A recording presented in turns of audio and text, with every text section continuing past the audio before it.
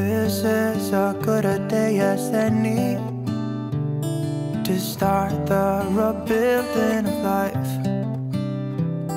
The roads that lay open are many when the old one's gone under the knife.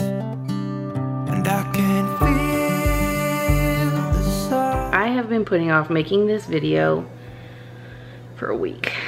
I really want to do this. There are a million and one things I would rather be doing. My house is a mess, my kitchen's dirty, I haven't meal planned, my room's a mess. There's just a million things I need to do and would rather do, but I've decided today's the day. We're just gonna set everything else aside that needs to be done and we're going to tackle Eric's room. Future Shannon here it's nighttime now. I've been at this probably for three, four hours. Something amazing happened. I went from being completely unmotivated to flipping a switch. I don't know what it was, but I was getting rid of stuff. I was making decisions, which was very hard for me sometimes. And we got it done. Very excited. I'm very motivated now. So stay tuned and watch the magic happen. I've got my go-go juice. So I'm gonna enjoy this and then get to work. Now y'all can see why I've been putting it off. The things that are motivating me right now are this cup of coffee, the idea of what it will feel like once it's done, the amount of peace it'll bring, but also how much time it's gonna save me in the future. It, the quantity is gonna be so much less. The amount of laundry that's gonna be less. So in the long run, while this is gonna take me some time, in the end, my hope is to gain so much more time to focus on other things that I want to do. So this is just gonna be one of those necessary evils. I'm so thankful that y'all are coming along with me. I hope y'all find motivation too. Maybe we can work through our homes together. Leave comments down below what room you worked in and also follow me on Instagram. I'll post pictures there as well of updates and whatnot. All right, you and me together. I chose to start in Eric's room because in theory, this is the easiest room. It looks worse than what it really is. So it's just mostly clothes and a little bit of tidying up. And I figured if I start here, or hopefully that will domino me into other rooms. I think next to packing for a move, going through kids' clothes is right there with it on jobs I least like to do. I'm so glad I finally forced myself to sit down and do this because it felt so good. So if you are struggling to declutter your home, my advice is to just get going. Just give yourself 15 minutes to start cleaning, tidying, going through stuff, and see how you feel at the end of that 15 minutes and see if you don't just keep going. Now we're going to start on the clothes. I'd be willing to guess that probably 1% of this actually fits him. I've got my trash bags for hopefully lots of giveaway. Probably need more than that. And we're going to start first by dumping this out. Where should we go here? I don't know. Should I do this? No, because I'm putting these back in the closet with hats and gloves and accessory type things for him and stuff that he still needs to grow into. So we're gonna do these first so we can empty them out. It's been decided.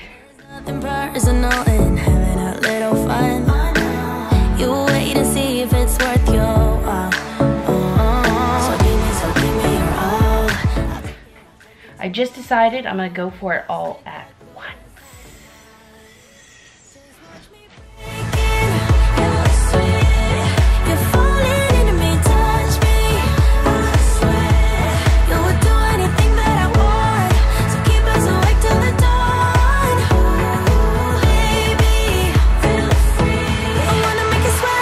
Well, that was a workout. Look at all these clothes. That is like an 18 inch by 18 inch basket. On top of all these clothes and down here, which I believe these are the new sizes. I've got his closet cleaned out of his clothes. And I see why now Marie Kondo says take it one category at a time because there is so much more than just clothes in here and I would get totally overwhelmed. So I have like old clothes here, like bridesmaid dresses. I have my cap and gown over here.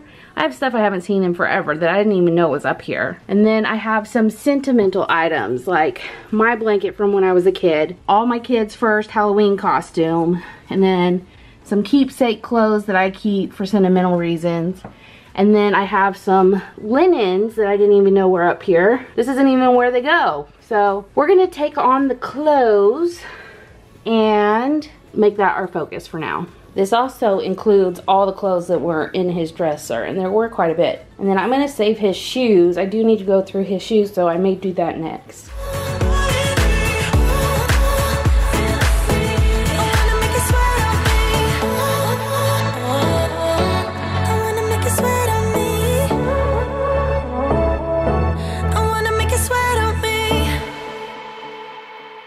What do you do to help motivate yourself to clean or do chores around the house? Is it some good music? Is it what it feels like after it's completed? Like, what gets you motivated and going? You stole my heart, what is it that you do? My life was great. I was so excited when I found this. I remember when I bought it. I can't believe I completely forgot about this. Does that happen to you guys? He's gonna be so excited when he sees it, and thank goodness he's just getting into 4T. I mean, we could have missed out on that. You're my heart's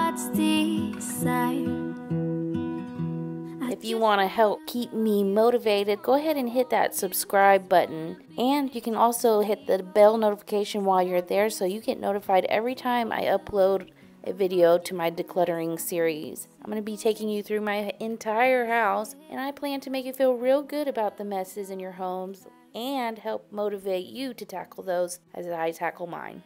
Okay, we have this pile of everything that for sure, for sure doesn't fit or that we're getting rid of. Those are clothes I found that were not his, trash. This is our size 3 pile, and then here's our 4T pile, and here's our 5-6 pile.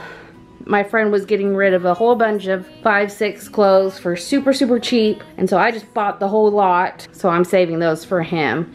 Can't ever pass up a good deal. So now I've got to go through and see what sparks joy. I went ahead and went through the three pile. Just kept the winter stuff since he's almost outgrown it. Kept a few short sleeves. All the long sleeves and sweaters pretty much. And surprisingly, this was the only pants I found. I thought he had more pants than that. And that's the only pajama I found. For the 4T clothes, all I'm doing is sorting those summer, winter, pajamas, so on. And we will put the summer clothes away for a couple more months. Oh. And finally, I just have to stick these 5T and 16 clothes in this storage bucket. I don't have to do anything else with them. I can save those for when we change into them. I know what it is you do. I just wanna love you, I just wanna hold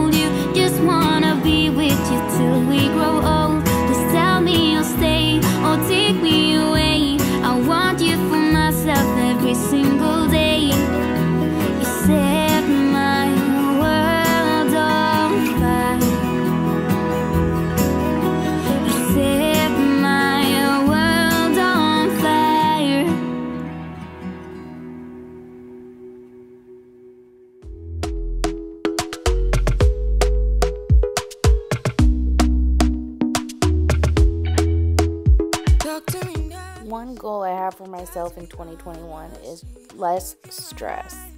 And that has been another motivating factor for this decluttering series. I know that as I eliminate all this mess and all these extra clothes and all these things that we don't need, I'm going to feel so much better and so much lighter. The world could be blowing up around me, but if my house is clean, I can I feel like I can take on the world. I don't know what it is about a clean house, but it just does something for my stress level.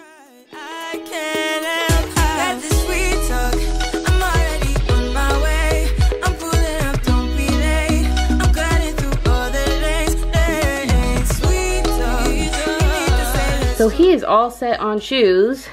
We don't really go anywhere, so they just stay in here. These are all missing their match. So I'm just gonna leave them here because I have a feeling once I hit up the girls' room and the playroom, the rest will turn up and then I can give these away or put them away.